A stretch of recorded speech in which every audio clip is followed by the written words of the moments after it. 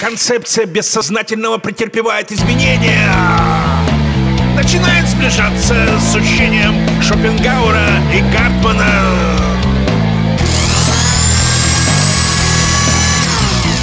Общие вопросы мировоззрения начинают преобладать над частными проблемами.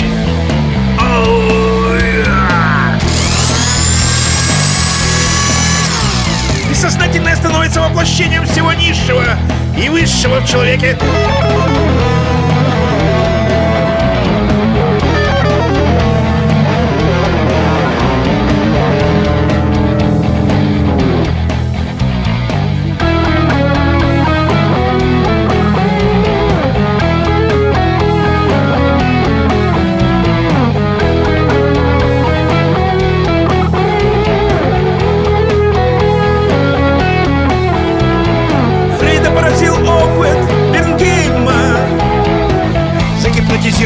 Пациентке было внушено приказание через некоторое время после пробуждения раскрыть стоявший в углу комнаты зонтик. Пробудившись от гипнотического сна дама, назначенный срок в точности выполнила приказанное, дошла до угла и раскрыла зонтик.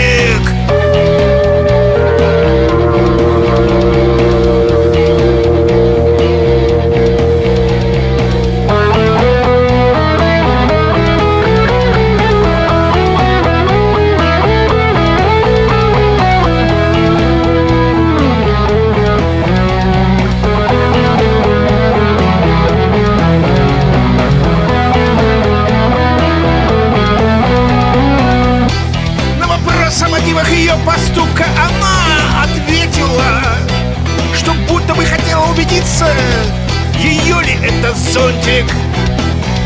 Этот мотив не соответствовал действительной причине поступка и был придуман. Но сознанию больной он вполне удовлетворял. Она искренне была убеждена, что раскрыла зонт по собственному желанию.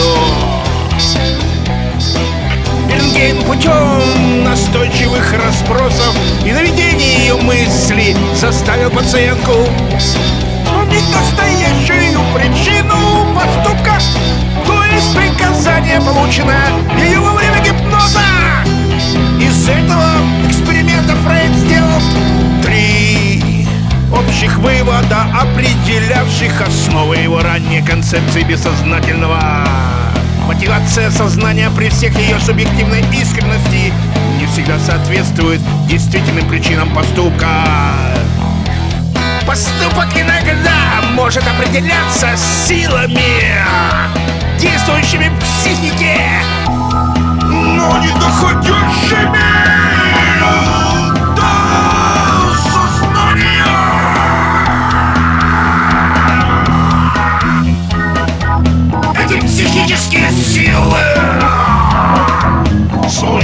химических приемов могут быть доведены до сознания.